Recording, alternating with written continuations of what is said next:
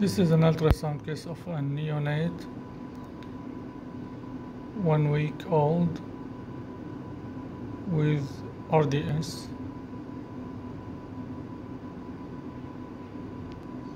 Here is the left lung, this is the right lung, this is the thymus, this is the right lung. We see no sliding here this is the liver. This is the left lobe of the liver and this is the left lung.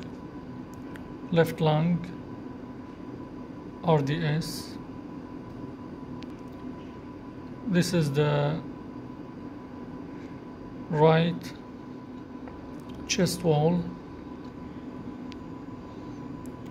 Here we don't see any lung sliding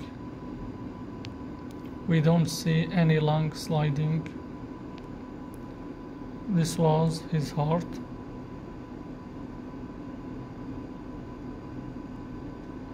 PDA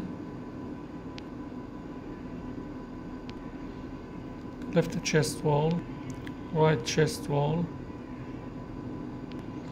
No lung sliding so pneumothorax this was uh, the posterior chest wall so it was a massive pneumothorax in the right chest.